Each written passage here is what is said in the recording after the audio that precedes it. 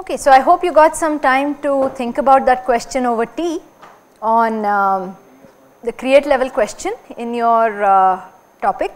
So let's actually begin with that and what I'd like you to do at this point is if you haven't written it, take another 2 minutes or so to write it and then share it with your colleagues in your remote center and RC coordinators if you could please share one such question so that we get an idea of what are such questions. Uh, we will then um, go to the next part. So at this point you can use chat to write to share your question. We will take about 5 minutes for this activity. Write your question, share it with your colleagues. Okay, great. Looks like many of you are sending it. Looks like many of you are getting the idea. And I am going to read out some which are let us say really open ended because what we want to get into now is assessment. We are going to now look at a couple of examples and then we will go to the next part. So let me read out a few. One says create a workflow for hospital management system. So even depending, I mean it does not matter which field you are from, but if you see a question like this, you know that there is something fairly open ended about this and students also have to use a lot of analysis and evaluation in order to answer this question because they have to make several decisions in the workflow. So it can be workflow for any process which involves a number of different decision making points.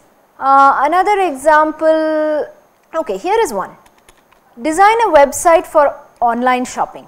Again this is a question which requires a lot of different inputs in terms of decision making, in terms of an analyzing which might be more efficient than something else and so on. What is not a good example of a create level is writing a C program for Fibonacci series and the reason I say that is really not at the create level is it is a routine algorithm and students mostly have to code it. So try to make a difference between questions where there are multiple valid correct answers, multiple paths to solution and so on and others where there is a fairly straightforward algorithm that needs to be implemented. Let us look at one or two more questions. So here there is something that says design a super elevation for a two lane national highway. So if you are doing civil engineering, transport and it also says assume all data as per IRC. I am not sure what is IRC but it looks like some standards. So where you have to take real life constraints and standards and then design a solution for an actual real life problem that is open ended design problem. Maybe one more create level and do not write questions like write a C program to sort elements. Those are more routine apply level questions, calculational questions. Okay, here is one. Develop an experimental setup for the following physical principle. So, there is some physical principle given and the students are asked not just to do the experiment, but they are told to come up with their own experimental setup and actually create the setup. So, I think you all got an idea of what is meant by what kind of problems we are talking about. So, now let us see a challenge that we have. So, the main challenge we have is how do we meaningfully assess such create level question. So, what we will do is a quick think pair share activity here. So, now at this point do a think phase where you write two challenges of assessing the above question. So, 1 minute for the think phase and then we will move on to the pair phase. If you have done the think phase, you can move on to the pair phase where you discuss with your partner and come up with one technique that to meaningfully assess the question that you wrote. You can pick any of your questions and make sure that the technique actually addresses the challenges that you wrote in the think phase. So, the question is if you have to assess an open-ended create level question like the examples we discussed here. What are some challenges and what is one way of assessing it which can address these challenges. And if with your partner you have done that, share your technique and let us hear some of your techniques. Challenges are something I think all of us are aware of. So, that was just to get you warmed up to answer the actual question as to what kind of a technique will you use to address some of these challenges. Most of you are saying that one of the main challenges is that there is no unique answer and you are all absolutely right. That is one of the biggest challenges that there is no unique answer. But yet as teachers we have an idea of poor answers and better answers. So, how will you meaningfully assess various solutions that you get? So, some of you are saying you will do a mini project evaluation that is okay, but what is your basis for evaluation? So, some of you one person has said that he uses a grading system based on milestones that he can define and these milestones can be at different cognitive levels. So, it is like a roadmap that if you have got until one particular milestone you may get some, some credit, if you get to the higher level milestone you may get some more. So, this is one way it, it can definitely be implemented. Some of you are saying developing rubrics. So, that is what we are going to talk about, but tell me what you think, what you mean by rubrics. Some, those of you who are saying rubrics, let us hear what you mean. Another challenge that some of you are sending is that they often this is group work. So, how do you assign points and so on. Okay, so let us actually talk a little bit about rubrics since many of you have mentioned rubrics. This word is used for a number of different things, but to effectively assess open-ended solutions and to meaningfully assess them, the rubric needs to have certain characteristics and that is what we will explore in this session. So, if you want to use rubrics as an, as an assessment tool, let us actually start with some of the challenges which I am putting under goals and constraints. Our solution must make sure that it addresses all these goals and constraints. So, multiple valid approaches, multiple valid answers and solution approaches. This one many of you mentioned. We as teachers want to evaluate not just the final product, but also the process. That is important to us because that also tells us what the student is learning. No single measure exists in the sense the assessment has multiple diverse criteria of uh, Uh, to say whether something is let me put in quotes good or poor. Often the products or the artifacts that you get from students they are not text, they are not equations or numbers. So, you can't slot it into right or wrong. Often they are very descriptive or they may be diagrams or they may be actual products, artifacts. How do you look at these?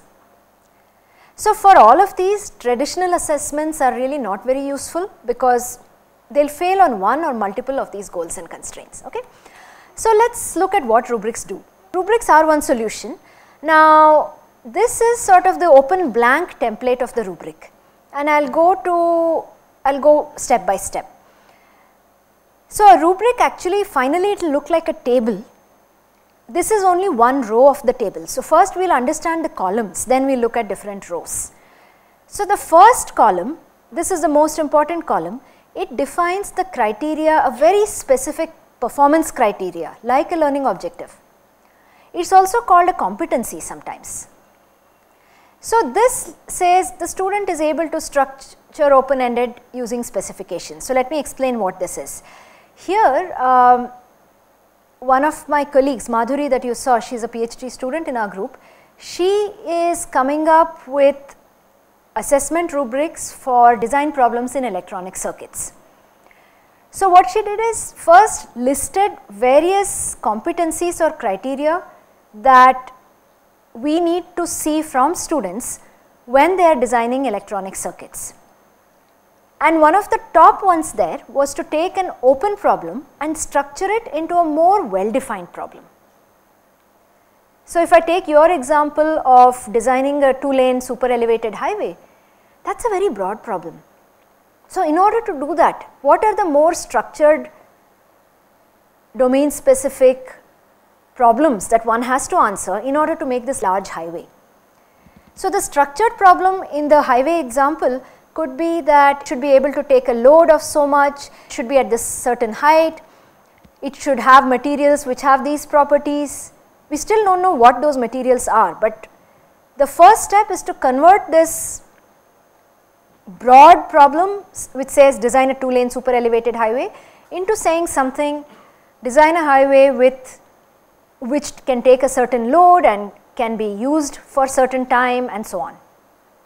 So, the first one of the early competencies that she was trying to measure was that student is able to structure the open problem using specifications that are given.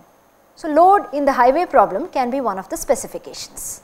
So, in a rubric for an open ended problem, you will have multiple such criteria.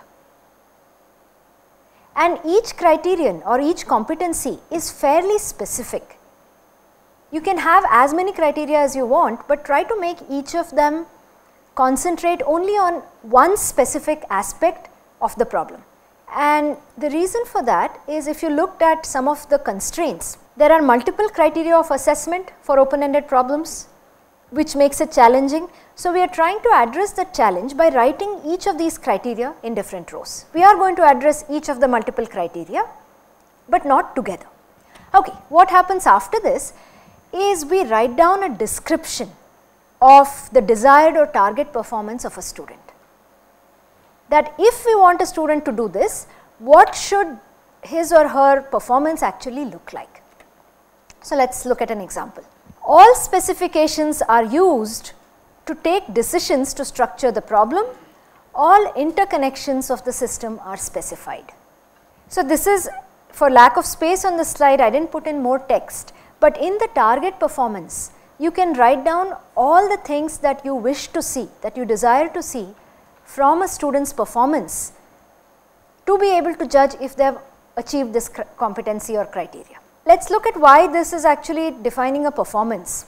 You still have to translate it or apply it to your own problem, but several specifications are given like the load and maybe the number of vehicles which travel, maybe the amount of rainfall, maybe the temperature variations during the day.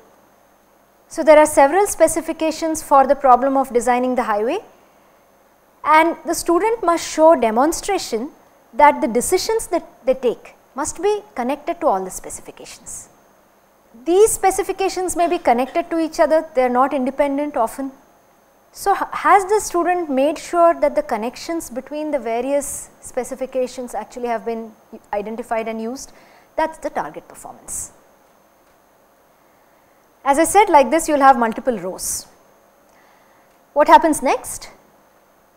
Once we write the target performance, you as a teacher write down some other levels of performance, the lower levels of performance. We will see how to do this and why this is important. In this particular example, three the target performance plus 3 levels are written. So, we will just walk through them one by one. A student who has made an attempt to use specifications, but has left out some minor specifications in the decision making process. That student will get will fall under the category of needs improvement. So, let us say there were 5 specifications and the student has used 4 of them and not the 5th which may have been somewhat important for decision making or they have used all specifications but have incorrectly used them that can also be come under needs improvement.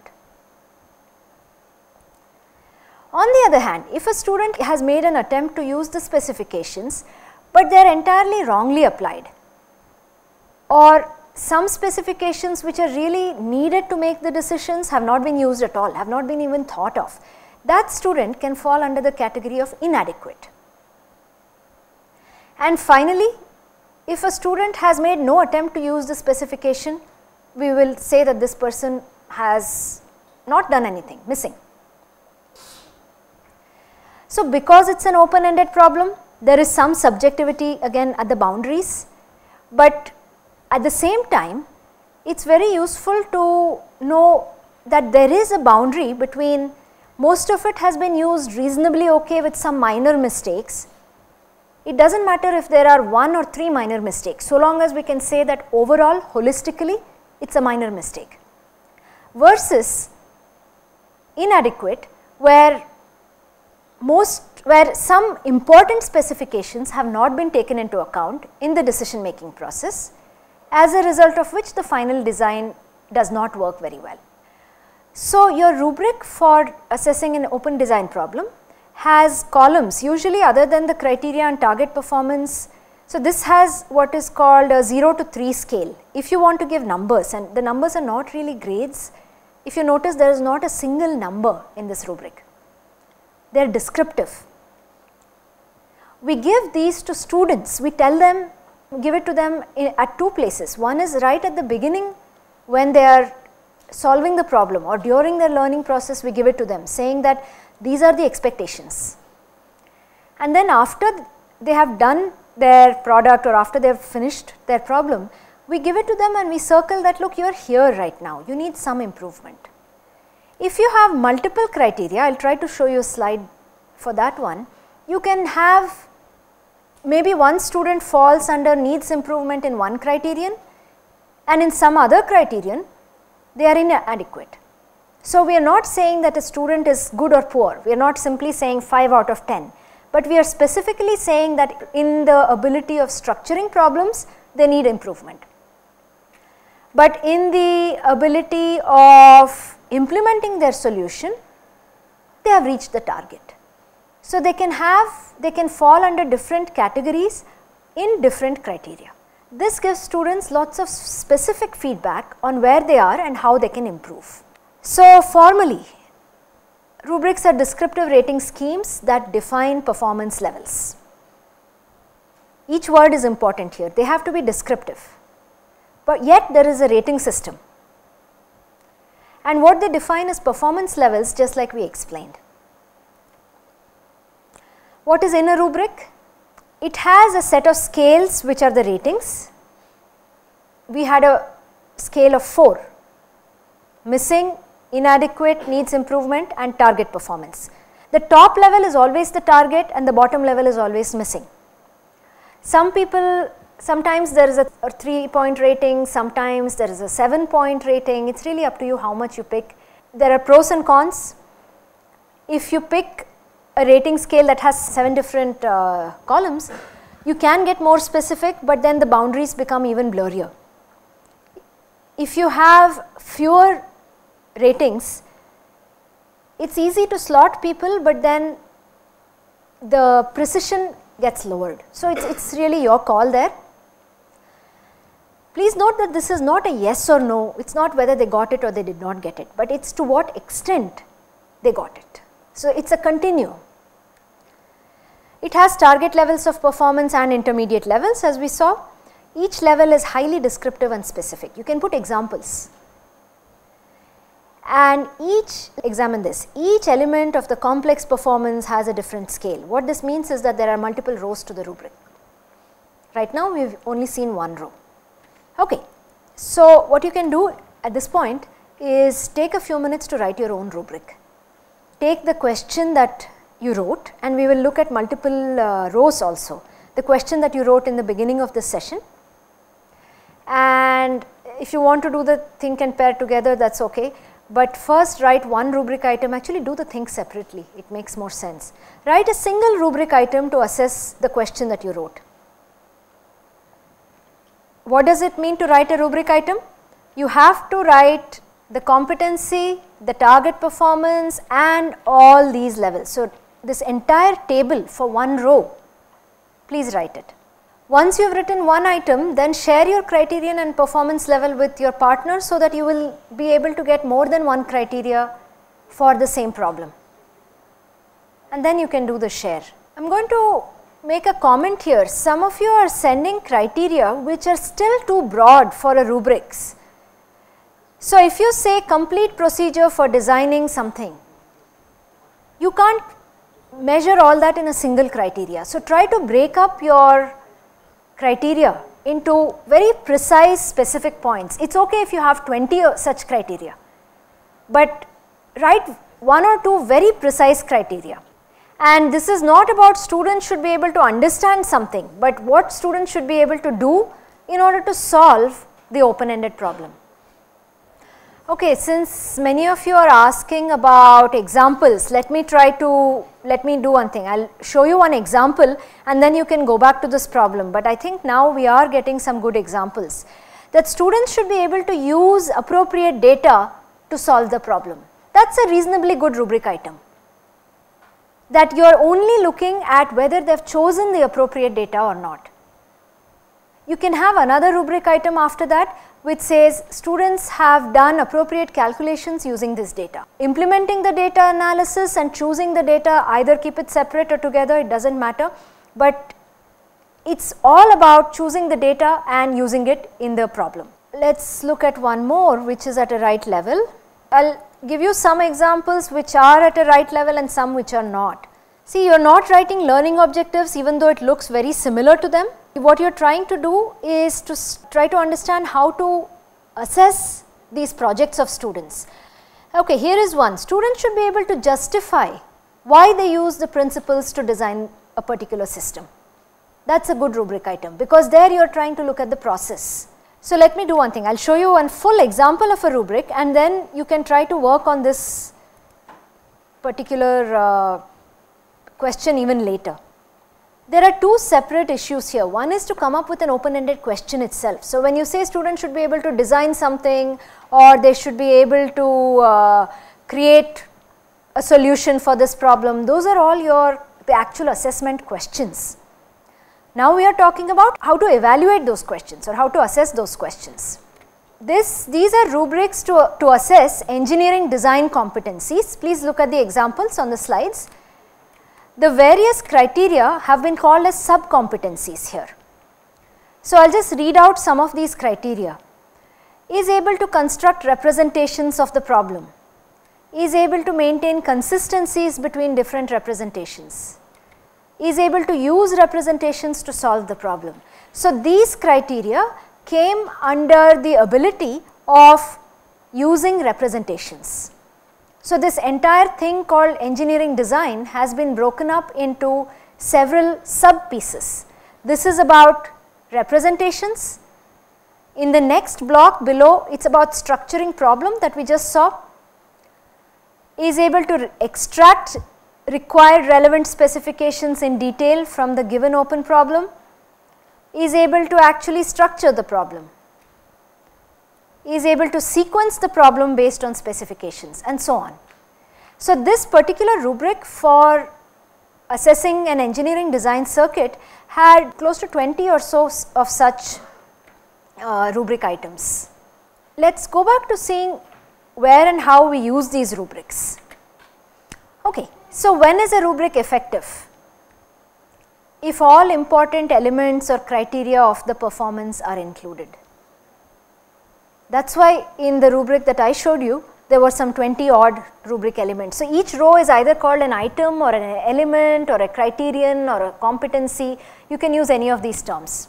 Important th that each element or each row must have a single dimension otherwise the student will get confused on what exactly they got wrong the purpose of a rubric is to tell the student what parts they got right and what parts they got wrong, but still maintain a precision. The ratings must be descriptive and comprehensive. So, after you have written your rubrics, what you can see is that you can go and check if your rubrics has these elements inside it. And finally, where and how to use these rubrics. So, as we mentioned earlier, you use them for assessment of open-ended problems, projects, presentations, portfolios and so on. To give you one example, if you want to assess students' presentations, you can have some elements or some criteria related to their oral presentation, some related to their slides, some related to flow and logic, but each of them must be accompanied by what is the target level that we expect and what are the lower levels. That will help the student understand where exactly they need to improve and where they were fine. Uh, when you come back January 19th, uh, 20th and 21st, we will do a whole session on group projects. At that point, we will come back to these rubrics. So, today's was more of an introduction to what are rubrics and how you can use them.